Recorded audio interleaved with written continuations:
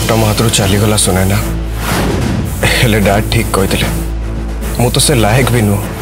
हे भोला बाबा तुम्हें जेमिति हेले विवेक बाबू के विपद रक्षा कर नहले तांका जॉब चली जीव मते तुम आशीर्वाद दरकार भोला बाबा